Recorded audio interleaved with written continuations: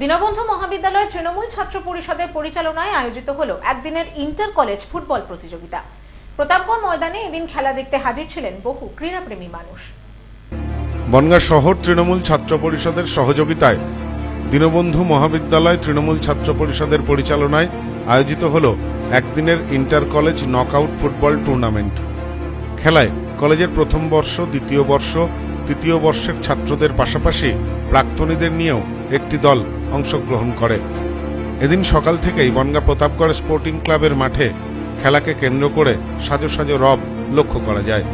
এ বিষয়ে দীনবন্ধু মহাবিদ্যালয় তৃণমূল ছাত্র পরিষদের সভাপতি রাজেশ দে বলেন, এই ফুটবল টুর্নামেন্টে প্রথম বর্ষ, দ্বিতীয় বর্ষ এবং তৃতীয় বর্ষ এবং বনগাঁ কলেজের প্রাক্তন ছাত্ররা এই খেলায় উপস্থিত এবং অংশগ্রহণ করেছেন। একুশে জুলাই আমাদের একটা আবেগ সেই জায়গায় মা ছাত্রছাত্রীদেরকে সংঘবদ্ধ করে আগামী দিনে কীভাবে পথ চলতে হবে, সেই একটা নির্দেশ যাতে আমরা মমতা ব্যানার্জির কাছে যেতে পারি একুশে জুলাইয়ের দিনকে। মমতা ব্যানার্জি ধর্মতলায়, সেটার উদ্দেশ্যেই এটা একটা মেন পরিচালনা। এদিনের খেলা উপলক্ষে উপস্থিত ছিলেন তৃণমূল ছাত্র পরিষদের রাজ্য সভাপতি তৃণাঙ্কুর ভট্টাচার্য।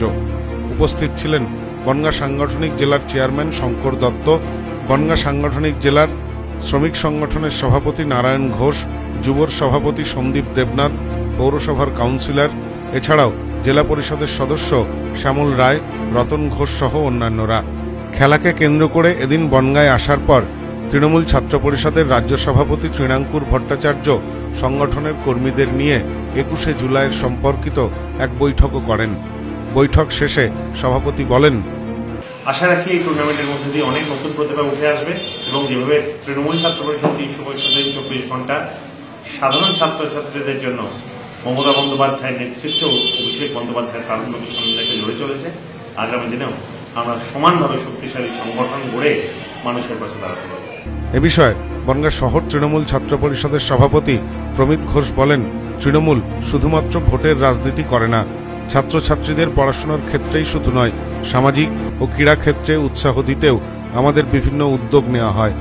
তৃণমূল ছাত্র পরিষদ যেমন ছাত্রদের সংগঠনটা করে ছাত্রদের নিয়ে রাজনীতি করে, তার পাশাপাশি কলেজ ক্ষেত্রে বিভিন্ন উন্নয়নমূলক কাজ এবং কলেজে সাধারণ ছাত্রছাত্রীকে রাজনীতির পাশাপাশি তাদের বিভিন্ন রকম ক্রিয়াকলাপে তাদেরকে লিপ্ত করা, তেমনই তার একটি অংশ হিসেবে আজকে আমরা এখানে একটা খেলার প্রদর্শনী একটা ব্যবস্থা করেছি যে দীর্ঘদিন যাবৎ কলেজে কোনো সোশ্যাল বলুন বা বিভিন্ন কারণে, যেমন করোনা বলুন বা বিভিন্ন প্রাকৃতিক বিপর্যয়ের কারণে দীর্ঘদিন ধরে কলেজে সাধারণ ছাত্রছাত্রী, তারা মানসিকভাবে একটু পিছিয়ে ছিল, তাদেরকে স্বাবলম্বী করার জন্য তৃণমূল ছাত্র পরিষদ এগিয়ে এসছে। এদিনের এই উদ্যোগকে ধন্যবাদ জানিয়ে তৃণমূল ছাত্র পরিষদের বনগাঁ লোকসভার সভাপতি অনুতোষ নাগ বলেন বনগাঁ দীনবন্ধু মহাবিদ্যালয়ের পরিচালনায় বনগাঁ শহর তৃণমূল ছাত্র পরিষদের সহযোগিতায় আজকে ইন্টার কলেজ একটা ফুটবল একদিবসীয় টুর্নামেন্ট এর আয়োজন করেছে। অত্যন্ত সুশৃঙ্খলভাবে সুন্দরভাবে কলেজের স্টুডেন্টদেরকে সামনে রেখে যারা মানে খেলার প্রতি যাদের পারদর্শিতা আছে তাদেরকে সামনে রেখে তাদের মধ্য থেকে যে বিভিন্ন রকম প্রতিভা আছে তারা তুলে ধরেছে। এটা একটা নতুন উদ্যোগ এই কলেজে। সায়ন চক্রবর্তীর রিপোর্ট নিউজ নোম্যান্সল্যান্ড বনগাঁ।